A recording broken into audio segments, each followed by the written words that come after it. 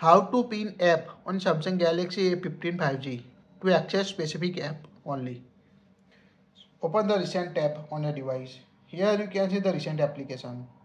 Tap the app icon at the top to pin the app. Now check if pin app option is available or not. If you can't find the pin app, you need to enable it. To enable it, open the app drawer on your device.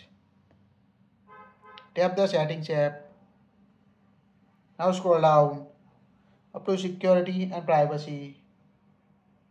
Tap on security and privacy.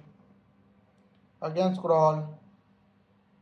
Tap on more security settings. Now scroll down at the end. Here you can find pin app. Tap on it. Now toggle on the button. Now pin an app to screen to prevent other from accessing feature outside the pin app. Now again, here you can also enable ask for pattern before unpinning. Let's see how pin app work. Now tap on the recent buttons. Now tap app icon you want to access specific app. Now you can find the pin this app option. Tap on it. Now tap on OK. To unpin the app, touch and hold the recent and back button on your device same time. Tap on OK.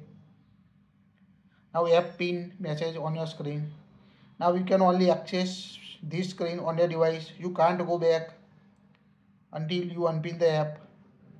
When you try to go back to unpin this app, touch and hold the recent button back button. You can only access specific this app. So quite useful feature if you want to give your phone to your friend or any family member and access only specific app. To unpin the app, long press the recent button and back button at the same time.